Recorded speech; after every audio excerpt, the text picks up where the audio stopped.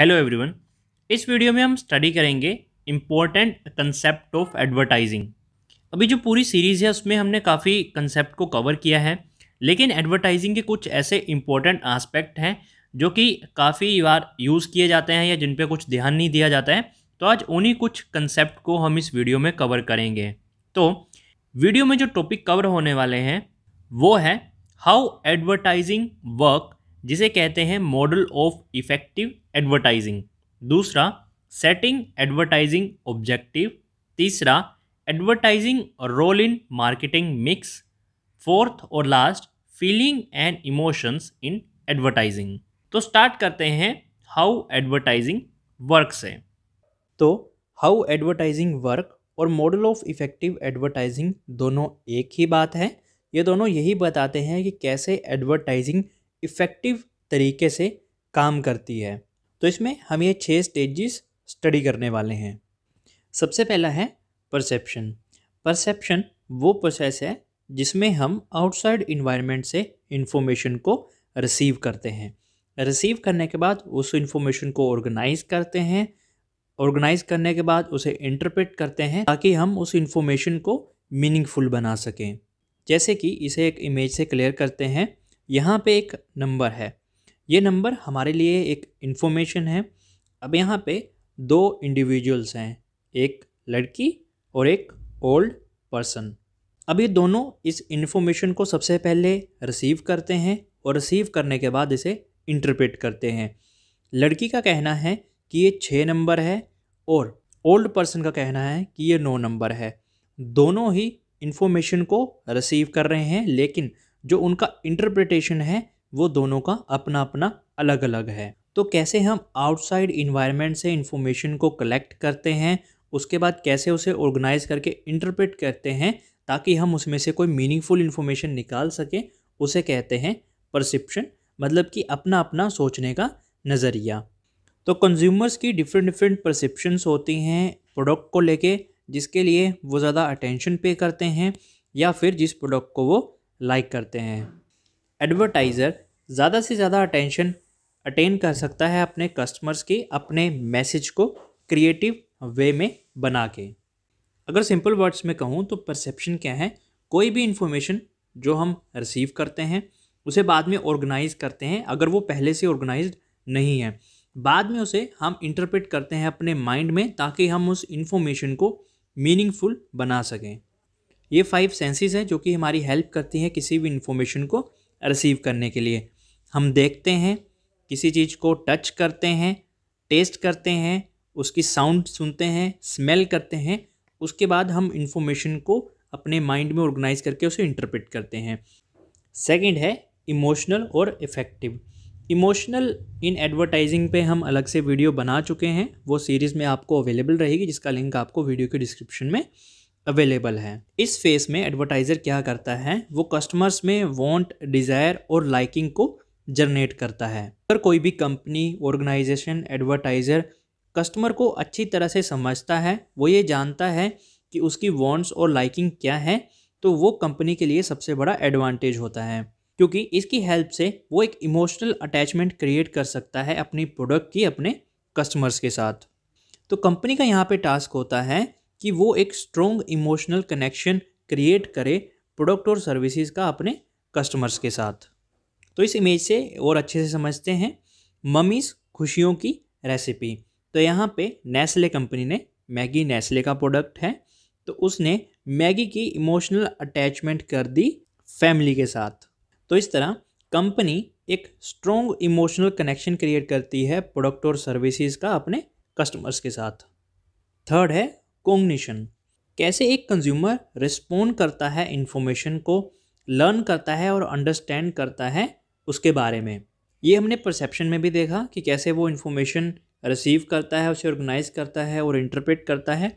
लेकिन यहाँ पे हम लर्न भी करते हैं और अंडरस्टैंड भी करते हैं उसे। अब यहाँ पे कस्टमर प्रोडक्ट के बारे में हर एक चीज़ सीखता है। वो ये जानना चाहता है कि प्रोडक्ट कैसा है, कैसे काम करेगा, इससे पहले कि वो उसे खरीदे। तो कोग्निटिव स्टेज ये एक्सप्लेन करती है कस्टमर्स को कि कैसे एक प्रोडक्ट काम करता है और वो उसको क्या क्या बेनिफिट्स प्रोवाइड करेगा।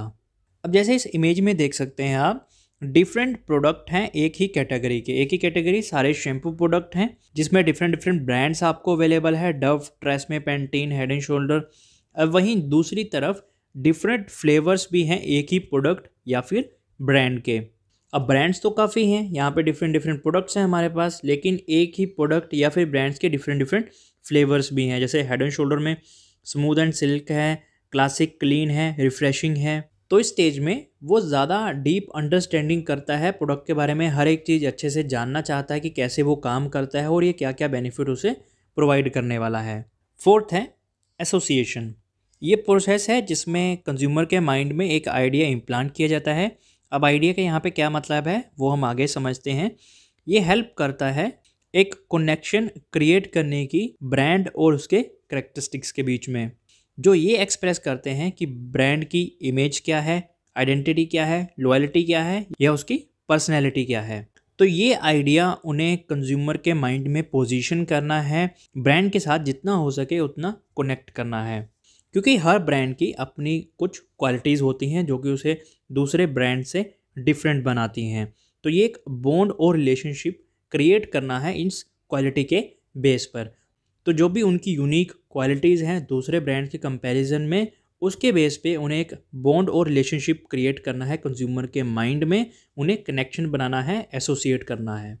तो अभी तक हमने इस इफ़ेक्टिव एडवर्टाइजिंग के मॉडल में क्या क्या किया? या फिर कैसे देखा कि एडवर्टाइजिंग कैसे काम कर रही है? सबसे पहले एडवर्टाइजिंग अटेंशन क्रिएट करती है कंज्यूमर में, उसके बाद इमोशनली अटैच कर रही है उसे अपने साथ।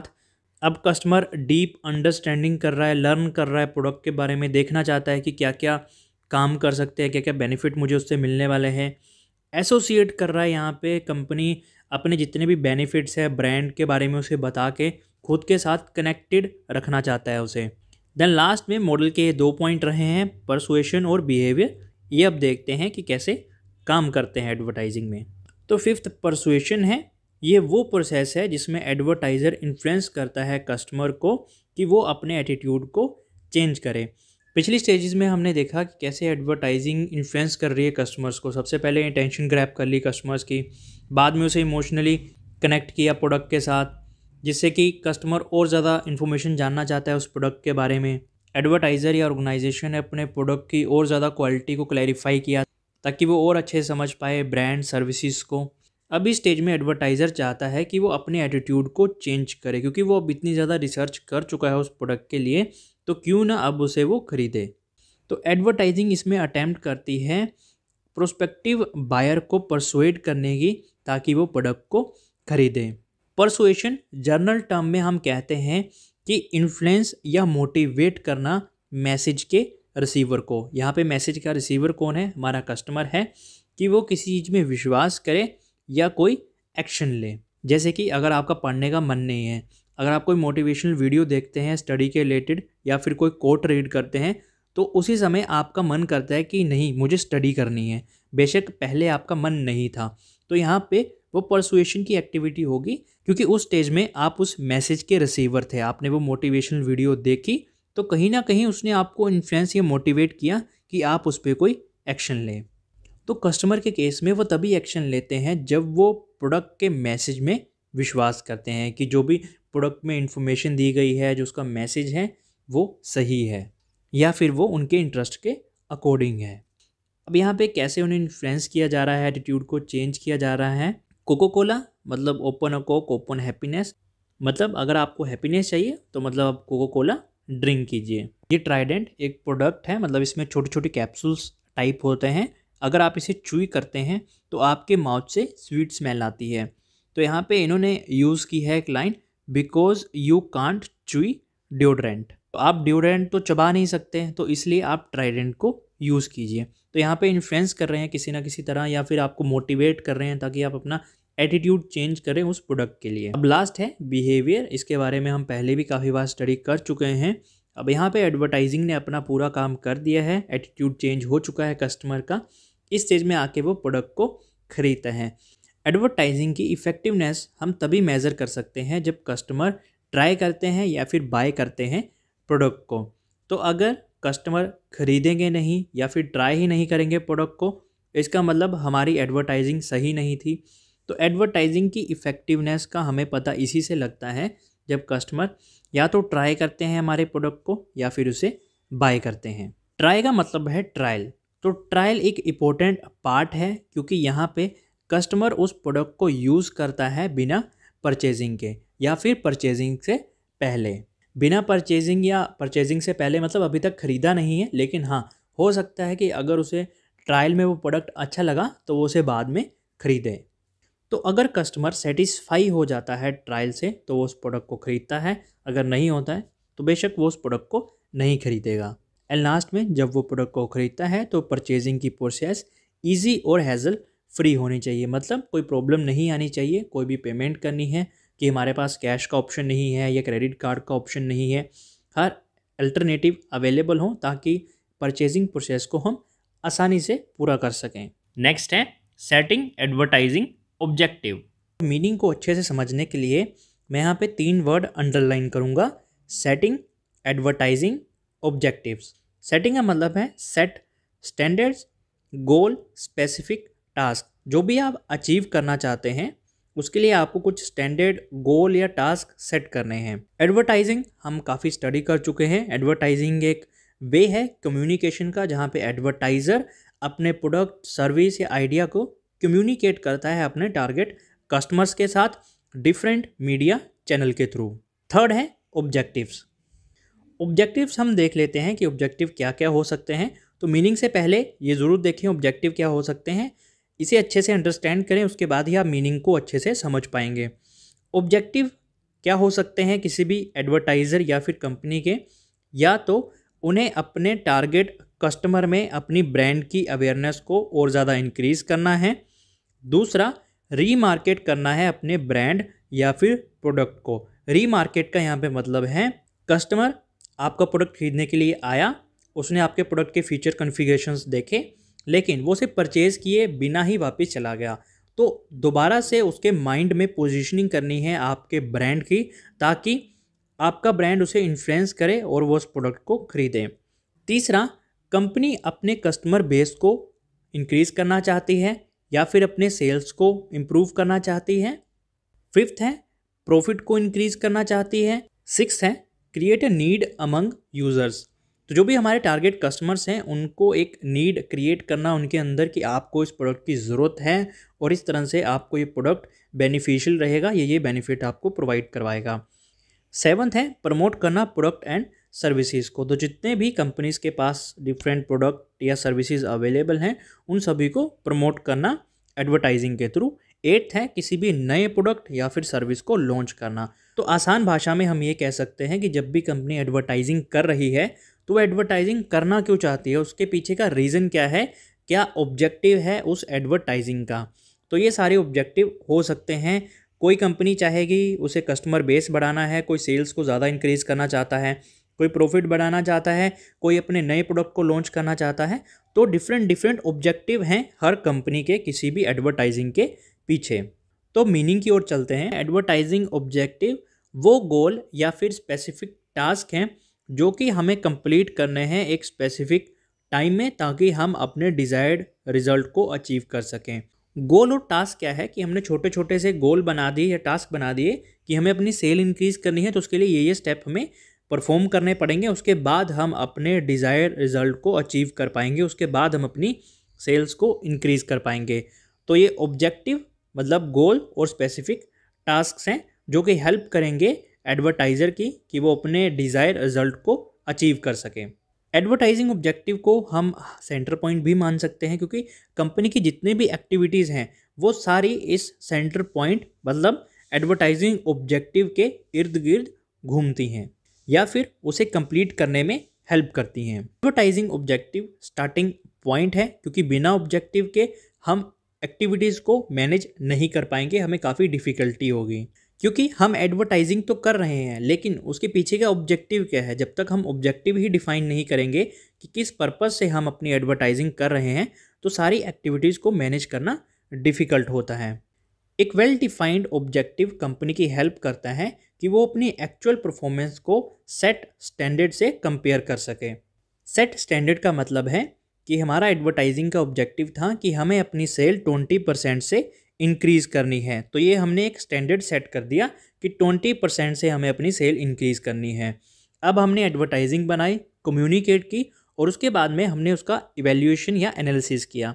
तो हमने ये देखा कि जो हमारी एक्चुअल परफॉर्मेंस है, हमने तो सोचा था कि ट्वेंटी परसेंट इंक्रीज़ होगा, लेकिन वो सिर्फ़ पंद्रह परसेंट ही इंक्रीज़ हुई या फिर पच्चीस परसेंट कम, ज़्यादा मतलब कि हमें कंपैरिजन करना है कि हमारी एडवर्टाइजिंग कैसे रही सेट स्टैंडर्ड के कंपैरिजन में।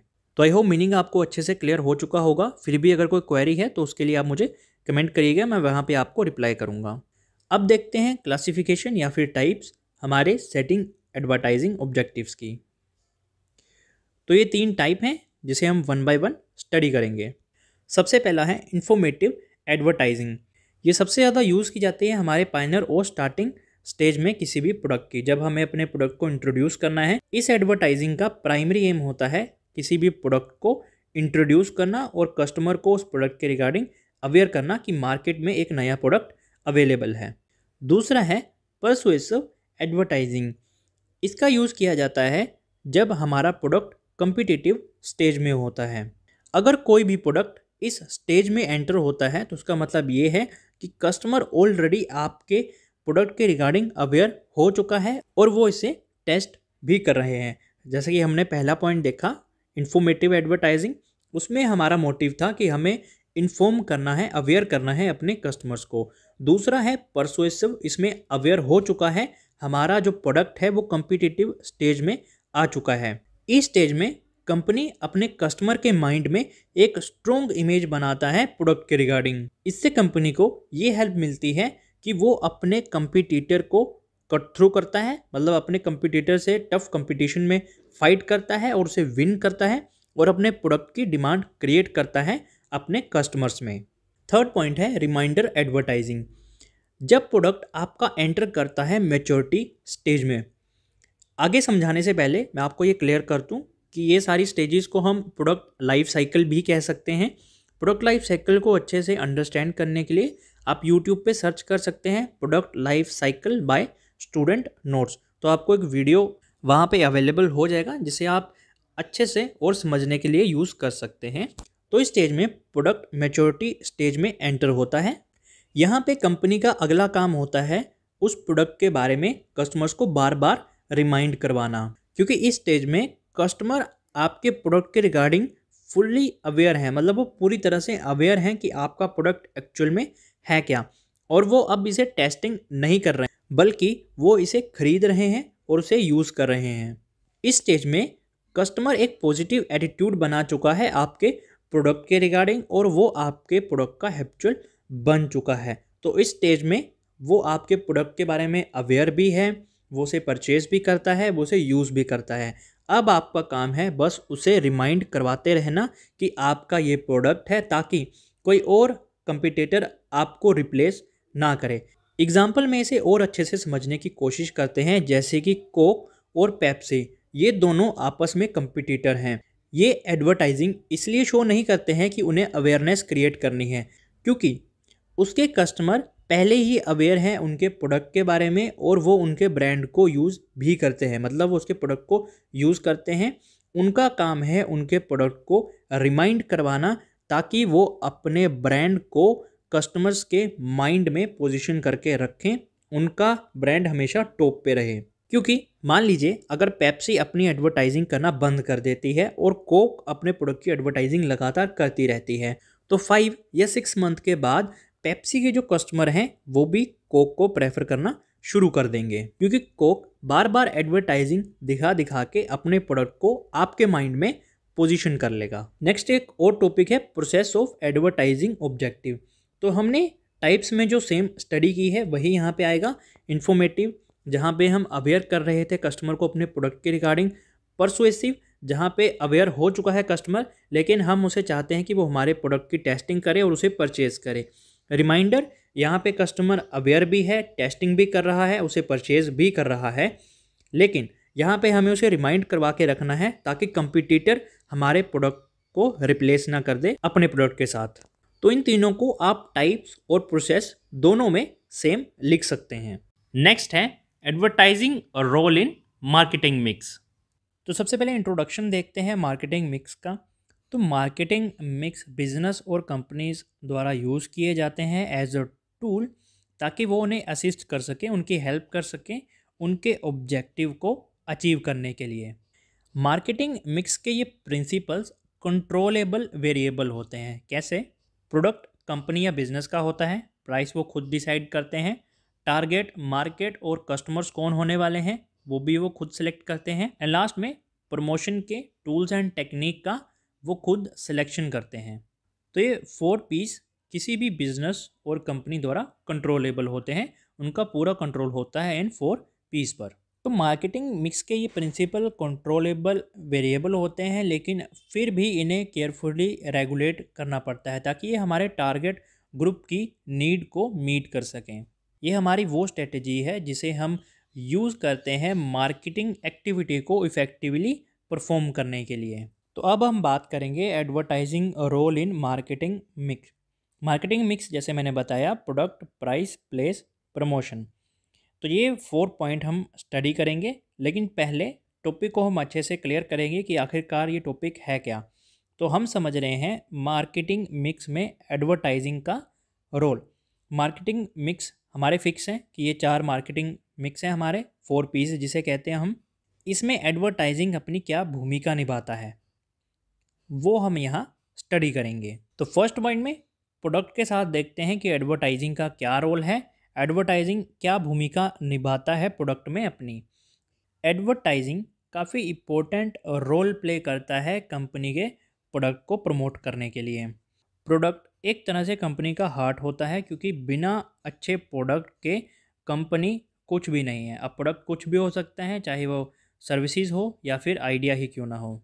तो एडवर्टाइजिंग हेल्प करता है मार्केटर की कि वो अपने प्रोडक्ट या सर्विसेज़ को सेल कर पाए, अपने कस्टमर्स को और उन्हें सेटिस्फाई कर पाए।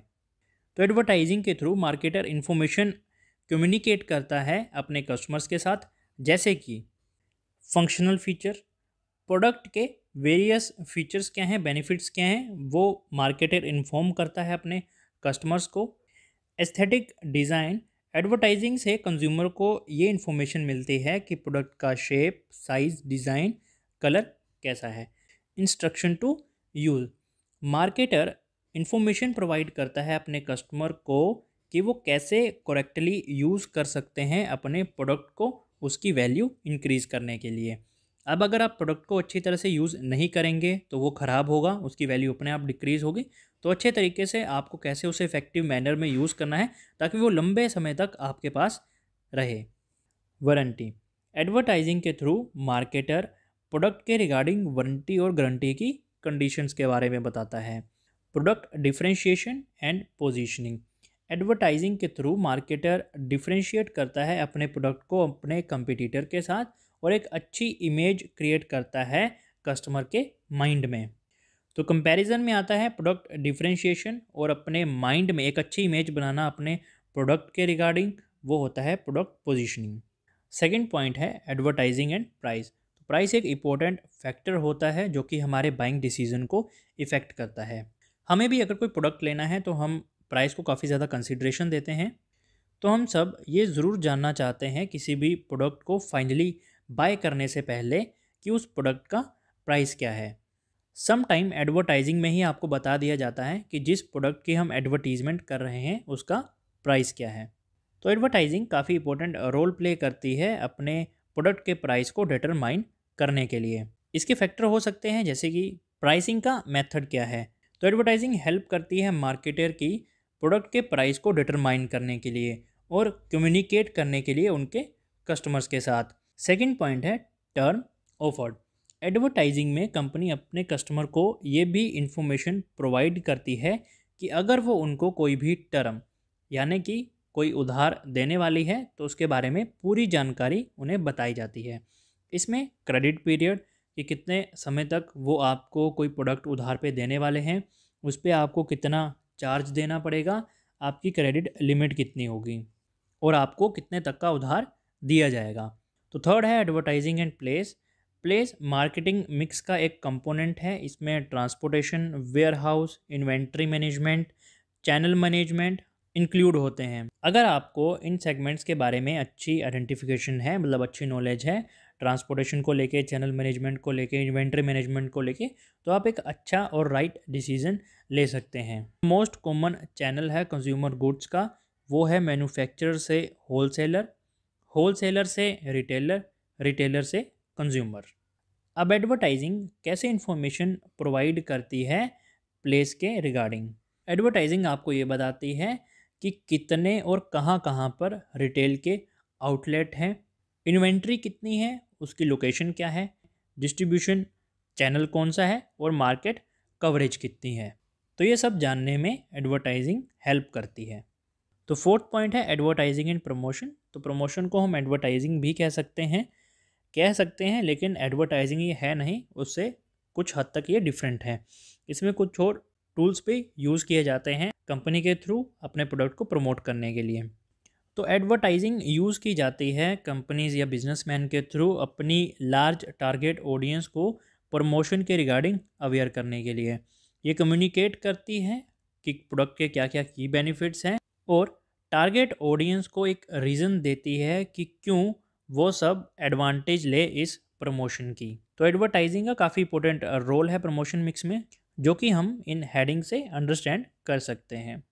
तो प्रमोशन में जैसे पर्सनल सेलिंग है सेल्स प्रमोशन है पब्लिसिटी है पब्लिक रिलेशन है। तो ये आगे फोर पॉइंट हैं प्रमोशन के ही। यहाँ पे हम देखेंगे कि कैसे एडवर्टाइजिंग अपना रोल प्ले करती है इनमें।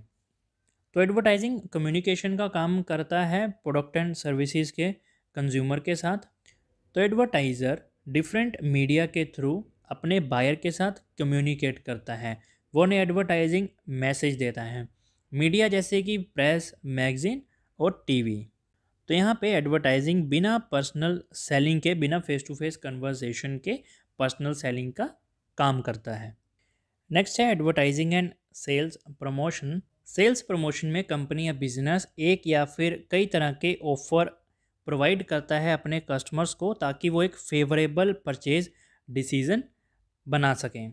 ऑफ़र जैसे कि प्रोडक्ट पे डिस्काउंट देना या कुछ हद तक पैसे की छूट, प्रोडक्ट के साथ कोई गिफ्ट देना या फिर अलग से कूपन्स प्रोवाइड करना, ऐसे कई तरीके होते हैं जिससे कि कंपनी सेल्स प्रमोशन करती है। इसका पर्पस या तो कस्टमर को इन्फॉर्म करना होता है या फिर उन्हें अपने प्रोडक्ट या सर्विसेज़ के रिगार्डिंग रिमाइंड करवाना होता है। सेल्स प्रमोशन से कंपनी इमेज और ब्रांड इमेज बनती है। एडवर्टाइजिंग सेल्स प्रमोशन के मुकाबले ज़्यादा फ्रिक्वेंट होती है और रिपीटेटिव होती है।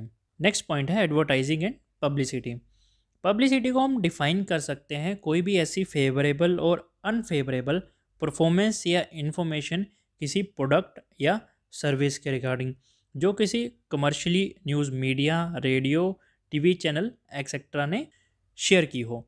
पब्लिसिटी हमेशा नॉन पेड होती है स्पॉन्सर और एडवर्टाइज़र के थ्रू इसके लिए उन्हें कोई भी पैसे देने की ज़रूरत नहीं है। मार्केटर्स का हमेशा हाई कंट्रोल होता है पब्लिसिटी पर, बजाय कि एडवर्टाइजिंग पर। एडवर्टाइजिंग पर जो कंपनी है उसका कंट्रोल होगा, वो देखेगी कि मुझे अपनी एडवर्टाइजिंग कैसे बनानी है, जबकि मार्केट का कंट्रोल रहता है पब्लिसिटी पर।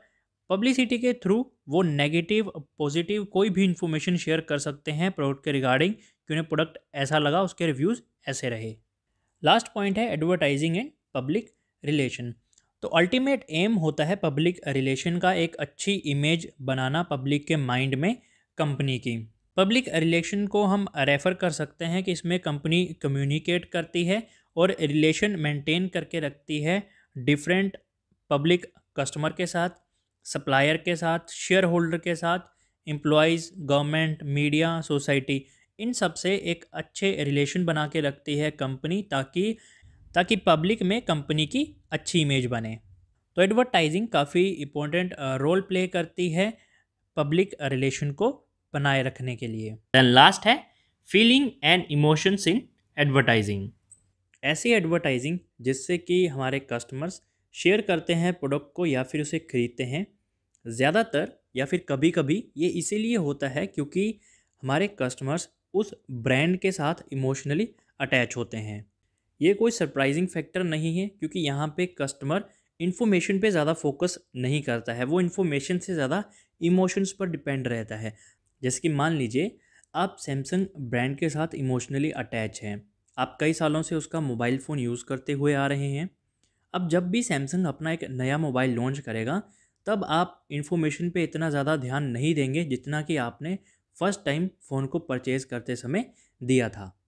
क्योंकि आप जानते हैं कि आप काफ़ी सालों से यूज़ कर रहे हैं और सैमसंग मोबाइल आपको अच्छा लगता है as quality wise feature wise तो नेक्स्ट टाइम जब भी वो लॉन्च होगा तो आप एक छोटा सा ओवरव्यू ही लेंगे ऊपर ऊपर से कि रैम कितनी है बैटरी कितनी है प्रोसेसर कौन सा है फ्रंट और बैक कैमरा के कन्फिग्रेशंस क्या हैं। तो आप छोटा सा ओवरव्यू लेके अगर आप देखेंगे कि हाँ ये वर्थ इट है मेरे लिए तो आप उसे ख़रीद लेंगे। आप इतना ज़्यादा डीप में नहीं जाएँगे उस इन्फॉर्मेशन के कि और भी कौन से नए मोबाइल लॉन्च हुए हैं, मुझे उनके साथ कंपेयर करना है, क्योंकि आप काफ़ी ज़्यादा इमोशनली अटैच हो चुके हैं उस प्रोडक्ट के।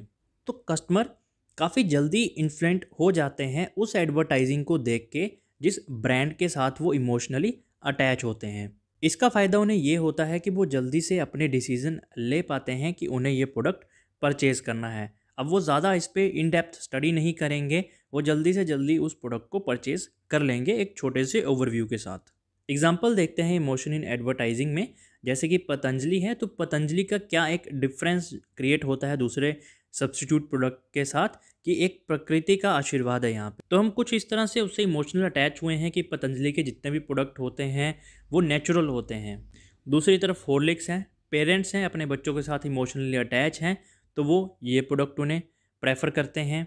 कोको कोला ब्रांड है कोको कोला का मतलब है open a Coke open happiness तो इन प्रोडक्ट के साथ हम काफ़ी ज़्यादा इमोशनली अटैच हो चुके हैं। तो जब भी हम इनका नया प्रोडक्ट देखते हैं या कोई एडवर्टीज़मेंट देखते हैं तो हम जल्दी से अपना डिसीज़न बना लेते हैं कि हमें इस प्रोडक्ट को परचेज़ करना है। यहाँ पे एक और इमेज का यूज़ मैंने अवेयरनेस पर्पज़ से किया है, जो कि हमारे इन्वायरमेंट के रिलेटेड है। Stop climate change before it change you कि हम क्लाइमेट को चेंज करना रोक दें, इससे पहले कि वो हमें ही चेंज कर दें। तो मैं यहाँ पे ये जानना चाहता हूँ कि अगर आप कोई ऐसी इमोशनल इमेजेस देखते हैं, जो कि हमारे क्लाइमेट इन्वायरमेंट के रिलेटेड होती हैं तो क्या आपका उस पर रिएक्शन होता है? क्या आप इन्वायरमेंट को सेव करने के लिए प्रॉपर प्रिकॉशन स्टेप्स लेते हैं या नहीं? तो ये मुझे कमेंट करके ज़रूर बताइएगा। तो अब हम देखेंगे कौन से ऐसे फैक्टर होते हैं, जो हमारे फीलिंग्स एंड इमोशन को इफ़ेक्ट करते हैं।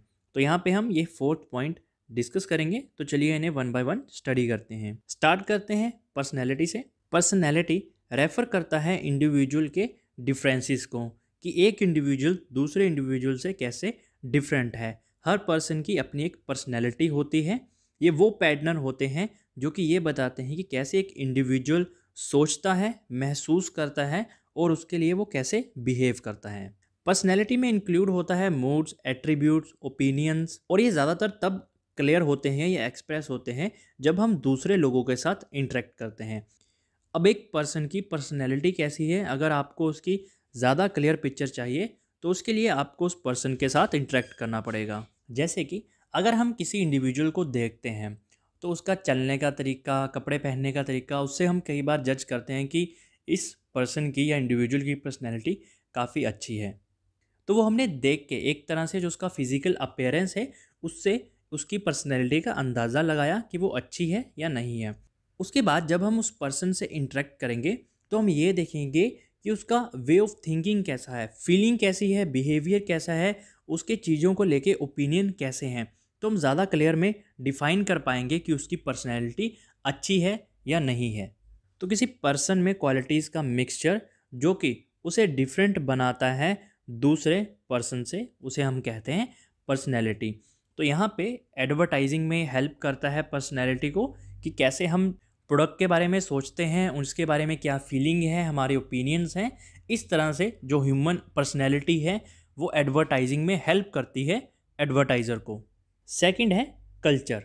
कल्चर इंक्लूड करता है करेक्टरिस्टिक्स किसी पर्टिकुलर ग्रुप ऑफ़ पीपल के बारे में, लैंग्वेज के बारे में रिलीजन, सोशल हैबिट, म्यूज़िक और आर्ट्स के बारे में। इंडिया इसका सबसे अच्छा एग्ज़ाम्पल है क्योंकि इंडिया में काफ़ी तरह के कल्चर हैं। यहाँ पे हर group of people, group of people में हम यहाँ पे दोस्तों के ग्रुप, फैमिली के ग्रुप या रिलेटिव के ग्रुप्स की बात नहीं कर रहे हैं। यहाँ हम कल्चर के अकॉर्डिंग पीपल के ग्रुप बना रहे हैं। जैसे कि हर कल्चर का अपना एक हिसाब होता है जिसमें शामिल होता है कि क्या हमें खाना है, कैसे खाना है। क्या हमें पहनना है? कैसे हमें पहनना है? हमारी भाषा क्या है? शादी का तरीका क्या है? म्यूज़िक कौन सा सुनना है? सही क्या है? गलत क्या है? हम टेबल पे कैसे बैठेंगे? हम अपने विजिटर्स का वेलकम कैसे करेंगे? एक्सेट्रा थर्ड पॉइंट है बिलीवेबिलिटी बिलीवेबिलिटी का मतलब है सच में विश्वास होना, किसी चीज़ की एग्जिस्टेंस होना, किसी चीज़ पर विश्वास करना। कई बार प्रूफ के साथ, कई बार बिना प्रूफ के साथ कि क्या सही और क्या गलत है। जैसे कि इसका काफ़ी अच्छा एग्ज़ाम्पल है गोड, भगवान। कई भगवान पे विश्वास करते हैं, कई विश्वास नहीं करते हैं। तो बिलीवेबिलिटी हमारे इमोशनल रिस्पॉन्स को काफ़ी ज़्यादा इंक्रीज़ करता है। अगर कस्टमर कुछ चीज़ों पे विश्वास करता है तो वो उस प्रोडक्ट को परचेज़ करता है और अपने एक्सपीरियंस को शेयर करता है। तो इसके लिए कुछ प्रोडक्ट हो सकते हैं, जैसे कि head and shoulder anti dandruff तो अगर आपको डेंड्रफ ज़्यादा होता है और अगर आप हेड एंड शोल्डर को यूज़ करते हैं देन आपका डेंड्रफ रिमूव होता है तो आपकी एक बिलीवेबिलिटी बन जाती है उस प्रोडक्ट के साथ। फोर्थ पॉइंट है एम्पथी एम्पथी का मतलब है इमोशनली अंडरस्टैंड करना कि कैसे दूसरे लोग फील करते होंगे, उनके पॉइंट ऑफ़ व्यू से चीज़ों को देखना इमेजिन करना खुद को उनकी जगह लेकर। जैसे कि अगर किसी का एक्सीडेंट हुआ है और अगर आप उसे देखते हो तो आपके बॉडी के अंदर कुछ सेंसेशन डेवलप्ड होती हैं। या फिर दूसरा एग्जांपल हो सकता है कि पर्सन है, डिसेबल है तो आप खुद को उसकी जगह रख के देखते हो कि अगर मैं ऐसा डिसेबल होता, मुझे कैसा महसूस होता। तो ये चीज़ें हैं जो कि एम्पथी बताते हैं कि हम कैसे इमोशनली अंडरस्टैंड करते हैं चीज़ों को। ये एक लिंक क्रिएट करता है हमारे और दूसरों के बीच में, क्योंकि ये हमें ये बताता है कि एज इंडिविजुअल हम कैसे अंडरस्टैंड करते हैं दूसरों को सेम वैसे ही एक्सपीरियंस करके जैसा वो एक्सपीरियंस करते हैं। अगर हमारी इम्पैथी ज़्यादा होगी और हम दूसरों की सिचुएशन को ज़्यादा अच्छे से अंडरस्टैंड करते हैं तो हमारा इमोशनल रिस्पॉन्स भी ज़्यादा हाई होगा। जैसे कि इसका एक एग्जांपल हो सकता है, कई बार आप एडवर्टीज़मेंट देखते होंगे डिसेबल पर्सन है, उनके लिए डोनेट कीजिए एजुकेशन के लिए डोनेट कीजिए एनिमल्स प्रोटेक्शन के लिए डोनेट कीजिए, क्लाइमेट प्रोटेक्शन के लिए डोनेट कीजिए। तो अगर आपकी एम्पैथी ज़्यादा है तो आप वहाँ पर डोनेट करना चाहेंगे। और अगर आपकी एम्पैथी लो होगी तो आप यही कहेंगे, खुद कमाओ, खुद करो। यहाँ पे अगर हम डोनेट करेंगे तो हमारा पैसा वेस्ट ही जाएगा। तो अब कुछ एडवांटेजेस देखते हैं इमोशन की एडवर्टाइजिंग में। सबसे पहला है, ये इंस्पायर करता है हमारे एक्शन को।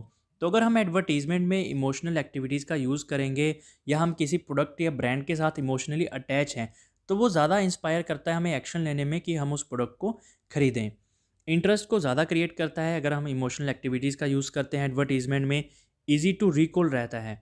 जिस प्रोडक्ट के साथ हम ज़्यादा इमोशनली अटैच हैं, उसे बार बार एडवर्टीज़मेंट के थ्रू याद करवाने की ज़रूरत नहीं पड़ती है। अगर हम उसकी कोई नए प्रोडक्ट की एडवर्टीज़मेंट देखते हैं तो हम खुद ही उस प्रोडक्ट को आसानी से रिकॉल कर पाते हैं। ये प्रोडक्ट को मेमोरेबल और शेयरेबल बनाता है, कि मतलब हम लंबे समय तक उसे अपने माइंड में पोजिशन करके रखते हैं और दूसरे अपने फ्रेंड्स रिलेटिव्स को भी प्रोडक्ट के बारे में शेयर करते हैं कि ये प्रोडक्ट अच्छा है। डिसएडवांटेजेस क्या है? इमोशन की टाइम कंज्यूमर है, क्योंकि कल्चर अलग अलग हैं, हमारे रिलीजन्स अलग अलग हैं, लैंग्वेजेस अलग अलग हैं तो काफ़ी डीप स्टडी करनी पड़ती है कि कौन सा इमोशन हमें प्लेस करना है किस कस्टमर या कल्चर के लिए। तो काफ़ी टाइम कंज्यूमिंग प्रोसेस भी रहता है ये। कस्टमर मैसेज के सेंटर को मिस कर देते हैं। कई बार अगर हम प्रोडक्ट के साथ इमोशनली अटैच हैं तो हम बाय करने को देखते हैं। इस बात पे ज़्यादा ध्यान नहीं देते हैं कि एक्चुअली मैसेज में क्या बातें वो बताना चाहता है। कई बार अनएथिकल वे में हम कस्टमर के इमोशन के साथ प्ले भी कर देते हैं। ज़्यादा से ज़्यादा हम कन्फिग्रेशन फीचर्स बताते हैं प्रोडक्ट में, लेकिन रियलिटी में वो होते नहीं हैं और वो कस्टमर्स को मिसलीड करते हैं। तो वीडियो आपको कैसा लगा, ये कमेंट करके ज़रूर बताएँ। अगर आपकी कोई क्वेरी है इस वीडियो या फिर किसी भी टॉपिक के लिए तो आप उसके लिए मुझे कमेंट कर सकते हैं। मैं वहीं पे आपको रिप्लाई करके या फिर अलग से वीडियो बना के आपके साथ शेयर कर दूँगा। वीडियो अच्छा लगा तो लाइक करें चैनल को सब्सक्राइब करें। Thank you.